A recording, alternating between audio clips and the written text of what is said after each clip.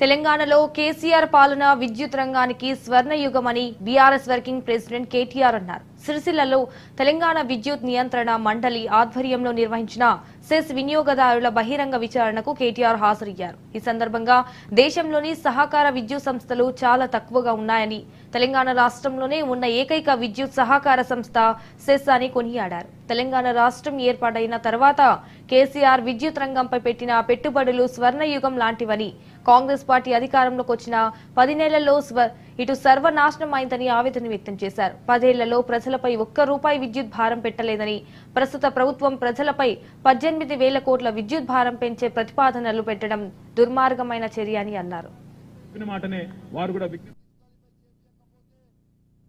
ఇప్పుడున్న ప్రభుత్వం ఇక్కడ ఆర్డర్లు ఇవ్వడం లేదు.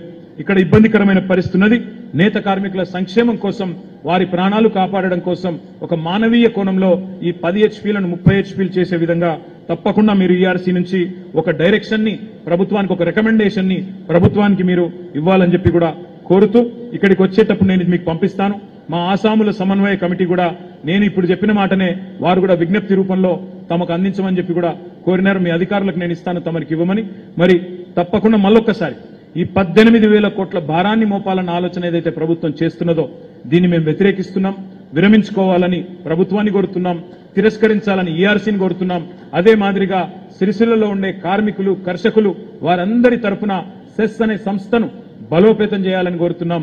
పది హెచ్పి కేటగిరీని ముప్పై హెచ్పీలుగా మరి మార్చాలనే ప్రతిపాదనను కూడా మళ్ళొక్కసారి బలంగా మీ ముందు ఉద్ఘాటిస్తూ తప్పకుండా గౌరవ చైర్మన్ గారు మా ప్రాంత బిడ్డగా మీరు మా వాదన మా వేదన మీరు రాష్ట్ర ప్రభుత్వానికి లిఖితపూర్వకమైన ఆదేశాలు ఇచ్చి తప్పకుండా గట్టిగా అమలయ్యే విధంగా చొరవ తీసుకోవాలని మనస్ఫూర్తిగా కోరుతూ మా సిరిసిల్ల ప్రజల పక్షాన మళ్ళీ ఒకసారి పబ్లిక్ హియరింగ్ ఇక్కడ ఏర్పాటు చేసినందుకు ప్రజాభిప్రాయ సేకరణ బహిరంగ విచారణ ద్వారా చేపడుతున్నందుకు మీకు కృతజ్ఞతాభివందనాలు మెంబర్లకు మీకు తెలియజేస్తూ.